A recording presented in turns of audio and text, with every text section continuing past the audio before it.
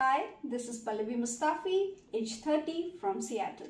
I would love to act in films that could be in any format, whether feature films, short films, or documentaries. I know three languages English, Hindi, and Bengali, and I'm also a big fan of dancing. And here are my side profiles.